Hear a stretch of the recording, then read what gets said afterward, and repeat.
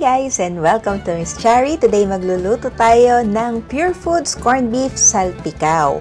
Usually, etong beef salpicao is made with beef tenderloin, Worcester sauce, and oyster sauce. Pero mas papadalain natin. Have the usual suspects of onion and garlic but of course we must prepare our canned goods and wash them up nicely. So para naman mas kampante tayo kapag gagamit tayo ng dilata sa bahay.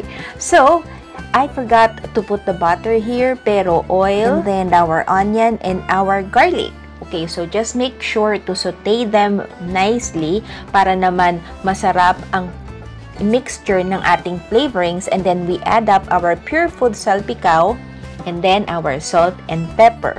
I don't know about you guys, pero ngayon kapag umu-order ako ng deliveries or ng food deliveries, usually nasisiraan ako ng tiyan. So, I don't know, is there a conspiracy here? Pero guys, you know, just be vigilant about what you eat and So, kahit canned goods siya, so this is from Prime. So, healthier pa rin siya because we know what we actually put inside our cooking.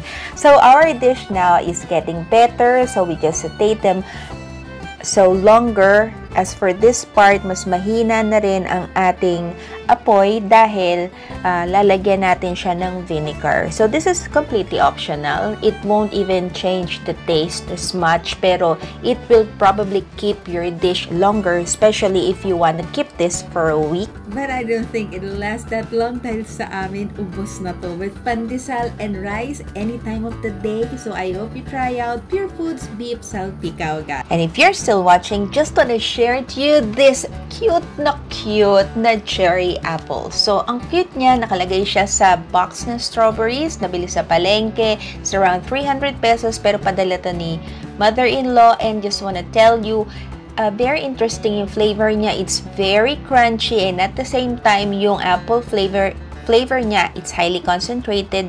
Medyo may perfumey taste in a good way. Hope you try it.